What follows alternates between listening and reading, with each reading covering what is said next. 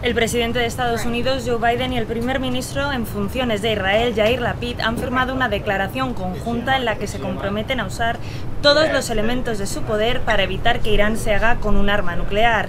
Esa declaración fue firmada en el segundo día de la visita de Joe Biden a Israel. En esa declaración, los dos países se comprometen a hacer frente a las actividades de Irán en la región.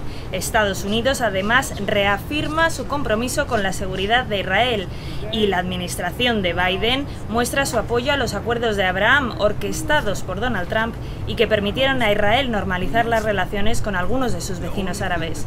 En esta jornada, Joe Biden tiene previsto también reunirse con algunos políticos de Israel, como el ex primer ministro Benjamin Netanyahu, informó Beatriz Pascual desde Jerusalén para la agencia EFE.